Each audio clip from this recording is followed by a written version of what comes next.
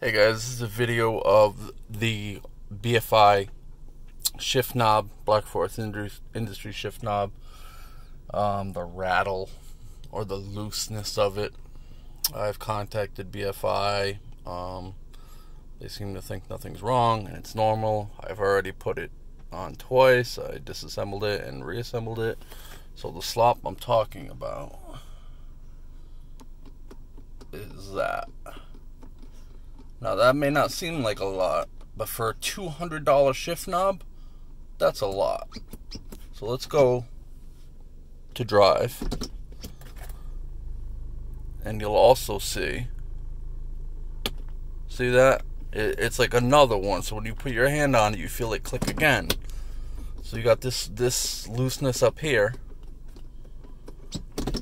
Put it in drive, and then say you want to switch to manual, you feel that click again. It just feels cheap. This feels like an eBay, you know, cheap shift knob. Um, I was super excited to get it.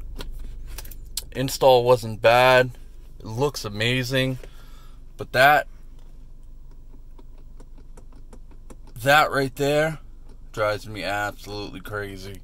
Especially for a car with a nice interior and um you know, it's a nice car. And this thing feels like a piece of junk. And that's about it. So we'll see what BFI says. I'm going to send this to them now, and uh, we'll go from there. Thanks, guys. Bye.